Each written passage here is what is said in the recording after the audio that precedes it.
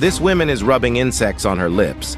These insects have so much dark red content in their bodies, and these are used in making red lipstick or eyeshadow.